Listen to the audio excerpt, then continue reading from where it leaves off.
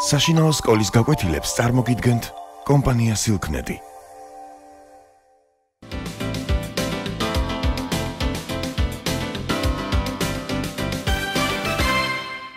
მოგესალმებით.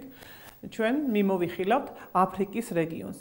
აფრიკა თავისი გეოგრაფიული მდებარეობით, მოსახლეობით, ფართობით მეორე კონტინენტია სოფლიოში. ფართობით, მოსახლეობით და ეკონომიკური განვითარების დონით მნიშვნელოვნად განსხვავდება ერთმანეთისაგან. მნიშვნელოვანია ის, რომ ბუნებრივი რესურსებითა და პირობებით საკმაოდ მრავალფეროვანი გახლავთ. იგი გეოგრაფიული მდებარეობის თვალსაზრისითაც მრავალფეროვანია. მას შუაზე ყოფს ეკვატორი ორ თანაბარ ნაწილად. ფაქტიურად ეკვატორიდან სამხრეთით იგივე მანძილია რაც ეკვატორიდან ჩრდილოეთით, მხოლოდ იმ განსხვავებით, რომ ჩრდილო ნახევარსფეროში მდებარე ტერიტორია ორჯერ აღემატება სამხრეთ ნახევარსფეროში მდებარე ტერიტორიას. მოსახლეობის რაოდენობით იგი საკმაოდ მრავალფეროვანი გახლავთ. მეორეა მსოფლიოში მოსახლეობის რაოდენობის მხრივ, ტერიტორიითაც. აღსანიშნავია სხვა ბუნებრივი ლანდშაფტებითა და ბუნებრივი პირობებით. კერძოდ მსოფლიოს უდიდესი უდაბნო, უდაბნო საჰარა არა წარმოქმნილი გახლავთ აფრიკის კონტინენტზე. ასევე აღსანიშნავია ის, რომ სოფლიოს უგრძესი მდინარე, მდინარე ნილოსი წარმოქმნილი გახლავთ აფრიკაში. აღსანიშნავია ასევე ტბა ტანგანიკა, რომელიც სიღრმით ბაიკალის ტბას ჩამოუვარდება მხოლოდ და მნიშვნელოვანია ასევე უმაღლესი მწვერვალით კილიმანჯაროთი, რომლის სიმაღლე 5895 მეტრია. მნიშვნელოვანია ასევე მდინარეთა ქსელის მრავალფეროვნებით, უმნიშვნელოვანესი მდინარეა კონგო ანუ ზაირი, რომელიც ორჯერ გადაკვეთს ეკვატორს, ჩრდილოეთში ნიგერი და მნიშვნელოვანია სამხრეთის მდინარეები, მათ შორის აღსანიშნავია ზამბეზი, ლიმპომპო, ორანჟი. არაჩვეულებრივი ბუნებრივი და კლიმატური პირობების გამო ფაქტიურად ფლორა და ფაუნა ხელუხლებელი გახლავთ და ამდენად აფრიკა მნიშვნელოვანი რეგიონია რეგიონებს შორის. რაც შეეხება იმას, რომ ეს ტერიტორია ფაქტიურად დასახლებულია ადგილობრივი მკვიდრი მოსახლეობით, აქ გამოიყოფა აფრიკულ მოსახლეობაში ძირითადად 4 მოსახლეობის ძირითადი მკვიდრები, ეს გახლავთ ნილოს საჰარის მოსახლეობა, სემიტურ ქამიტური მოსახლეობა, ნიგერ კონგოს მოსახლეობა და ასევე აღსანიშნავია აზიიდან და სხვა კონტინენტებიდან გადმოსული მოსახლეობის გარკვეული ნაწილი, რომლებიც ცხოვრობენ აფრიკის კონტინენტზე. მნიშვნელოვანია ის, რომ 1960 წელს დაიწყო ფაქტიურად აფრიკის სახელმწიფოების დამოუკიდებლობა და მსოფლიოში 1960 წელი აფრიკის წლად არის მიჩნეული, ვინაიდან 1960 წელს 17-მა სახელმწიფომ მიიღო დამოუკიდებლობა. თუმცა მანამდე 4 სახელმწიფო 1950 წელს 4 სახელმწიფო გახდა დამოუკიდებელი. დღეისათვის ფაქტიურად თითქმის ყველა სახელმწიფო არის დამოუკიდებელი, მხოლოდ სამი სახელმწიფო მონარქიული მართლობის ფორმა. ეს სახელმწიფოები გახლავთ მაროკო, რომელიც მონარქიულია, ლესოტო და სვაზილენდი. დანარჩენი სახელმწიფოები კი დამოუკიდებელი სახელმწიფოები გახლავთ. სულ 54 სახელმწიფოა დღეს აფრიკაში და სამი მონარქიული სახელმწიფო. საერთო ფართობი აფრიკისა წარმოადგენს 30.2 მილიონ კვადრატულ კილომეტრს, საკმაოდ დიდია ფართობით, როგორც თქვით, მეორეა მსოფლიოში, მეორე კონტინენტია. მოსახლეობის რაოდენობაც საკმაოდ მაღალია. აქ ცხოვრობს 900 მილიონი კაცი, მოსახლეობის რაოდენობითაც მეორეა მსოფლიოში. აღსანიშნავია იმით, რომ ფაქტიურად თქვით, რომ ყველაზე დიდი სახელმწიფო ფართობის მიხედვით ეს გახლავთ სუდანი ხოლო ფართობის მხრივ ყველაზე პატარა კუნძულოვანი სახელმწიფო ეს არის სეიშელის კუნძულები. ასევე მოსახლეობითაც ყველაზე პატარაა. მოსახლეობის მრავალფეროვნებით გამოირჩევა ნიგერია. ყველაზე მრავალფეროვანი მოსახლეობა სწორედ ამ ქვეყანაშია და მოსახლეობის სიმრავლით ყველაზე დიდი ქალაქი ეს გახლავთ კაირო. ეგვიპტეში. მნიშვნელოვანია ასევე ეკონომიკური განვითარების დონით ერთადერთი განვითარებული სახელმწიფო გახლავთ, ეს გახლავთ სამხრეთ აფრიკის რესპუბლიკა.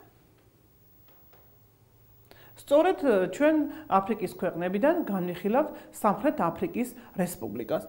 სამხრეთ აფრიკის რესპუბლიკა მდებარეობს უკიდურეს სამხრეთში აფრიკის ტერიტორიისა. და იგი თავისი ეკონომიკური განვითარების დონით ერთადერთი სახელმწიფოა აფრიკაში, რომელიც განვითარებულ სახელმწიფოს მიეკუთვნება.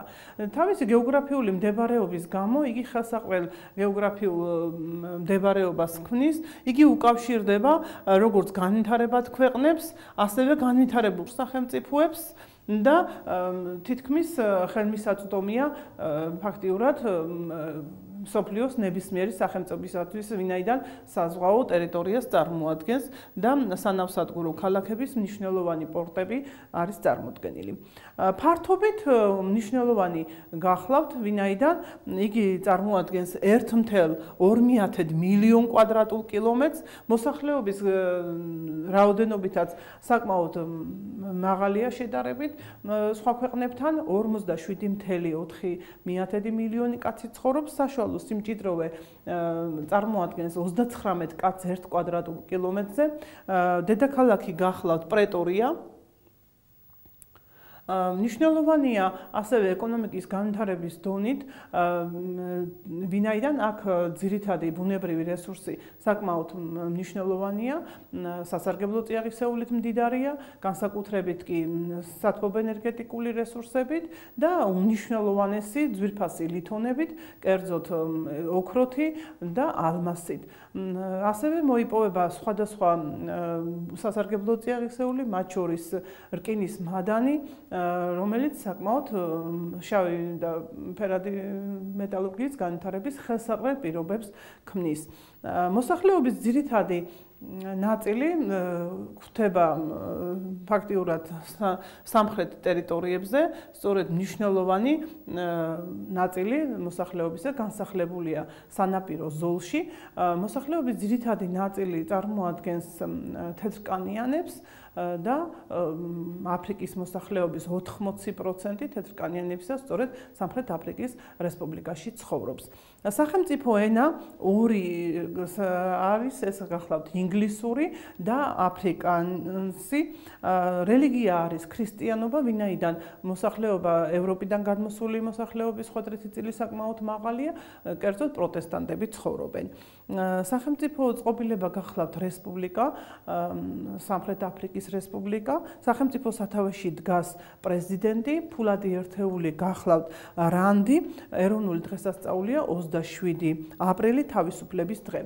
ფაქტიურად სამხრეთ აფრიკის რესპუბლიკა წარმოადგენდა ევროპელი მოსახლეობის საკმაოდ დიდ ინტერესს, ვინაიდან ბუნებრივი რესურსები და სასარგებლო წიაღისეული ხელსაყრელ პირობებს ქმნიდა მოსახლეობის განსახლებისათვის.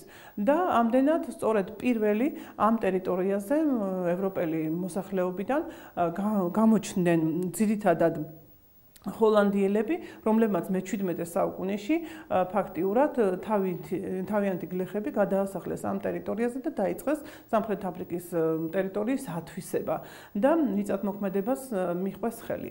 ხოლო მოგვიანებით მე-18-19 საუკუნეში ინტერესი გაუჩნდათ ინგლისელებს და სწორედ მათ გადაინაცვლეს სამხრეთ აფრიკის ტერიტორიაზე და 1910 წელს ჩამოყალიბდა დიდი ბრიტანეთის დომინიონი. ამდენად მნიშვნელოვანი გახლავთ ის, რომ სამხრეთ აფრიკის რესპუბლიკის ტერიტორია 4 პროვინციად დაიყო და ფაქტიურად დიდი ბრიტანეთის დომინიონად გამოცხადდა იგი. 1961 წელს კი მას ეწოდა სამხრეთ აფრიკის რესპუბლიკა. მნიშვნელოვანი გახლავთ ის, რომ სწორედ მე-20 საუკუნის 80-იან წლებამდე ეს ქვეყანა, ეს სახელმწიფო წარმოადგენდა ფაქტიურად რასისტულ სახელმწიფოს, ვინაიდან აქ ადგილობრივი მკვიდრი მოსახლეობის ფაქტ მონებად ცხოვრობდნენ და საკმაოდ დიდ ექსპლუატაციას უწევდნენ თეთრკანიანები და ამდენად სოფლიოში ერთადერთი სახელმწიფო გახდა მე-20 საუკუნის 80-იან წლებში, სადაც თეთრკანიანები ყველაზე პრივილეგირებული იყვნენ სოფლიოში. ხოლო ფაქტიურად 1990 წელს გაუქმდა რასისტული რეჟიმი, ამას სათავეში ჩაუდგა შავკანიანი ეროვნულ განმანთავისუფლებელი ლიდერი ნელსონ მანდელა, რომელმაც ფაქტიურად პირველი სოფლიოში პირველი პრეზიდენტი გახდა შავკანიანი და 1993 წელს მან ნობელის პრემიაც კი მიიღო. მნიშვნელოვანია ის, რომ 1996 წლის კონსტიტუციით სამხრეთ აფრიკის რესპუბლიკა გამოცხადდა რესპუბლიკად ეს ტერიტორია. კონსტიტუციის თანახმად სახელმწიფოს მეთაური გახდა პრეზიდენტი. პარლამენტი გახლავთ ორპალატიანი. ეს არის ძირითადად ეროვნული კრება და პროვინციელთა ეროვნული საბჭო, რომელიც არჩევნების გზით მოსული ხელისუფლება გახლავთ. ბუნებრივი რესურსები საკმაოდ მრავალფეროვანი გახლავთ ეს რეგიონი. აღსანიშნავია ის, რომ ბუნებრივი რესურსებით აქ გამოიყოფა სამი მნიშვნელოვანი გეოგრაფიული ერთეული. ეს გახლავთ დრაკონის მთები, რომლის უმაღლესი მწვერვალია 3482 მეტრი. ლანდშაფტები ფაქტიურად წარმოდგენილი გახლავთ ჰიდროგრაფიული ქსელით. ეს გახლავთ მდინარე ორანჟი, რომელიც დრაკონის მთებიდან იღებს სათავეს. ფაქტიურად ეს ტერიტორია წარმოადგენს ბუნებრივი კლიმატური პირობების ხელსაყრელ ნაწილს, ვინაიდან იგი მოქცეულია სუბტროპიკულ კლიმატურ სარტყელში და ტროპიკულ კლიმატურ სარტყელში. ამდენად მიწათმოქმედებისათვის ხელსაყრელი პირობები არის ტროპიკული მცენარეების გავრცელებისათვის. ფაქტიურად აფრიკის ტერიტორია წარმოადგენს ნიშნულოვან ბუნებრივ ლანდშაფტს, სადაც ხელუხლებელი გლახავთ ფლორა და ფაუნა. ამდენად ბუნებრივი ლანდშაფტების მრავალფეროვნება და კლიმატური პირობები ხელს უწყობს სოფლის მეურნეობის დარგების განვითარებას. მნიშვნელოვანია ის, რომ მოსახლეობის ძირითადი ნაწილი მაინც ქალაქში ცხოვრობს, ქალაქურ ტიპის დასახლებას მისდევს, მცირე ნაწილი ცხოვრობს სოფლად, მხოლოდ 25%, რომლებიც დასაქმებულია სოფლის მეურნეობის დარგების განვითარებით. მოსახლეობის ძირითადი ნაწილი ფაქტიურად წარმოქმნილი გახლავთ ძირითადად თეთრკანიანი მოსახლეობით, საერთოდ აფრიკის თეთრკანიანი მოსახლეობის 80% ცხოვრობს სამხრეთ აფრიკის რესპუბლიკაში. მოსახლეობის ძირითადი ნაწილი განსახლებულია სანაპირო ზოლზე, აღმოსავლეთ სამხრეთ აღმოსავლეთ ნაწილში და მნიშვნელოვანია ასევე მის ცენტრალურ ნაწილში. მოსახლეობის ძირითადი ნაწილი როგორც თქვი დასაქმებულია სამრეწველო ძირითად საწარმოებში. უდიდესი როლი აქვს მრეწველობაში მოპოვებით მრეწველობას ვინაიდან ბუნებრივი რესურსები და სასარგებლო წიაღისეული საკმაოდ მრავალფეროვნებით გამოირჩევა.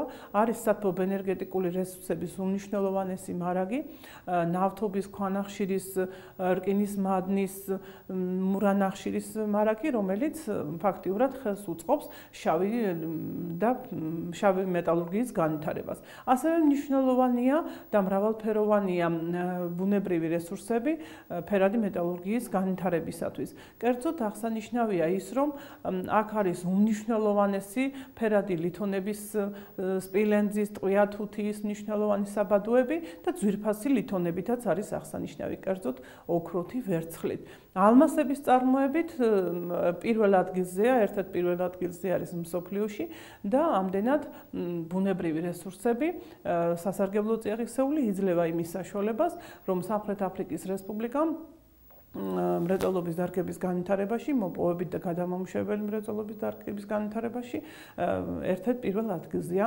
სოფლიოში. აღსანიშნავია ის, რომ კვიდრი აფრიკელი მოსახლეობა წარმოადგენს 75%-ს, ასევე მნიშვნელოვანია ის, რომ მოსახლეობის გარკვეული ნაწილი საერთოდ აფრიკაში სულ 4 მოსახლეობა გამოიყოფა. ეს გახლავთ თეთრები, თეთრკანიანი მოსახლეობა, რომელიც საერთო აფრიკის მოსახლეობის 10%-ში ადგენს, ადგილობრივი მკვიდრი აბორიგენული მოსახლეობა, რომელიც 75%-ში ადგენს, ფერადი ფერადკანიანი მოსახლეობა, ძირითადად მულატები, მეტისები, რომლებიც 9%-ში ადგენენ და აზიის კონტინენტიდან გადმოსული აზიელი მოსახლეობა, რომელიც შეადგენს 3%-ს. ძირითადად აზიის ტერიტორიიდან გვხვდებიან ჩინელები, ინდოელები, რომლებიც ცხოვრობენ აფრიკის ტერიტორიაზე. მოსახლეობის 80% ცხოვრობს ქალაქში, სამხრეთ აფრიკის რესპუბლიკის 80% ცხოვრობს ქალაქში. ქალაქური აგლომერაციები გვხვდება მნიშვნელოვანი ცენტრები. ეს გახლავთ ისეთი მნიშვნელოვანი ქალაქები, როგორიცაა იოჰანესბურგი, რომელიც ადმინისტრაციული ცენტრი გახლავთ ერთ-ერთი და სამრეწველო ცენტრიც გახლავთ. დედაქალაქი პრეტორია, რომელიც ადმინისტრაციული ცენტრი გახლავთ სამხრეთ აფრიკის რესპუბლიკისა მოსახლეობის ძირითადი ნაწილი ცხოვრობს იოჰანესბურგში. იგი დაარსდა 1886 წელს. მნიშვნელოვანია იმით, რომ იგი სამხრეთ აფრიკის რესპუბლიკის ქალაქებს შორის ერთ-ერთი ყველაზე დიდი ქალაქია. ქალაქი დურბანი რომელიც თავისი ეკონომიკური განვითარების დონით ერთ-ერთი მნიშვნელოვანი ქალაქი გახლავთ. აქ მოსახლეობა თავმოყრილია ადმინისტრაციული ცენტრებშია დასაქმებული, მოსახლეობის საერთო რაოდენობა 3.3 მილიონი კაცია. მნიშვნელოვანი ქალაქია კეიპტაუნი, რომელიც ასევე სანავსადგურო და სამრეწველო ქალაქია, მოსახლეობის ძირითადი ნაწილი აქ ცხოვრობს და დასაქმებულია სამრეწველო ცენტრებში. 3.1 მილიონი კაცია მცხოვრები. რაც შეეხება დედაქალაქს, როგორც თქვით, დედაქალაქი პრეტორია, მოსახლეობის გარკვეული რაოდენობა ცხოვრობს აქაც 1.8 მილიონი კაცი. ეკონომიკის განვითარებაში მნიშვნელოვანი ხვედრითი წილი აქვს როგორც მოპოვებით, ასევე გადამამუშავებელ მრეწველობას, როგორც თქვით, მნიშვნელოვანია ფერადი ლითონების, შავი ლითონების წარმოება, საერთოდ მეტალურგიის განვითარება, ასევე განვითარებულია მანქანათმშენებლობა. მანქანათმშენებლობის დარგებიდან აღსანიშნავია მსუბუქი ავტომობილების მნიშვნელოვანი წარმოება და ასევე სასოფლო-სამეურნეო ავტომანქანების წარმოებაც. უდიდესი როლი აქვს მომსახურეობის სფეროს ბოლო წლებში და ტურიზმის განვითარებას. ვინაიდან აქ ხელსაყრელი პირობებია აფრიკის ტერიტორიის ლანდშაფტი იძლევა იმის საშუალებას, რომ ტურისტული ინდუსტრია იყოს განვითარებული და აფრიკის ფლორა და ფაუნა უამრავ ტურისტს იზიდავს. ვინაიდან ფაქტიურად ხელუხლებელია აფრიკის ეროვნული პარკები და ნაკრძალები. სოფლის მეურნეობის დარგების განვითარება, როგორც თქვით, სოფლის მეურნეობის დარგების განვითარებაში თავარ თავრეს როლს ასრულებს მარცვლეული კულტურების წარმოება, კერძოდ სიმინდის, ხორბლის, შაქრის, ლერწმის, ბამბის წარმოებაში ერთ-ერთ პირველ ადგილზე დგას მსოფლიოში და მნიშვნელოვანია იმით, რომ ოქროს, ალმასების წარმოებით მსოფლიოში ერთ-ერთი პირველ ადგილზე დგას და საექსპორტო მნიშვნელობაც აქვს მას. რა თქმა უნდა, მნიშვნელოვანია ასევე სოფლის მეურნეობის ისეთი დარგის განვითარება, როგორიცაა მეცხოველეობა. მეცხოველეობის დარგებიდან აღსანიშნავია მეცხვარეობა და ცხვრის სულადობის საერთო რაოდენობით მატყლისა და ხორცის წარმოებით ერთ-ერთ პირველ ადგილზე დგას სოფლიოში. ასევე მნიშვნელოვანია ისეთი ძვირფასი ლითონის მოპოვება, როგორც გახლავთ პლატინა და მასაც უდიდესი საექსპორტო მნიშვნელობა აქვს. მოსახლეობა დასაქმებულია როგორც სამრეწველო ქარხნებში, ასევე სოფლის მეურნეობის დარგებშიც, მისდევენ თევზჭერასაც და ბოლო დროს განვითარდა ტურიზმი. რა თქმა უნდა, მნიშვნელოვანია ასევე ბოლო დროს განვითარებული მეურნეობის დარგი მევენახეობა. უცხოური კაპიტალის ხვედრითი წილი საკმაოდ მაღალია ეკონომიკაში, კერძოდ მნიშვნელოვანია ამერიკის შეერთებული შტატების, იაპონიის და ინგლისის ხვედრითი წილი. ამდენად სამხრეთ აფრიკის რესპუბლიკა ერთ-ერთი ყველაზე განვითარებული რესპუბლიკა არის არა მარტო აფრიკაში, არამედ მსოფლიოშიც. დღეს მიმოვიხილეთ აფრიკის ქვეყნები, ყურადღება გავამახვილეთ სამხრეთ აფრიკის რესპუბლიკაზე. გმადლობთ ყურადღებისთვის.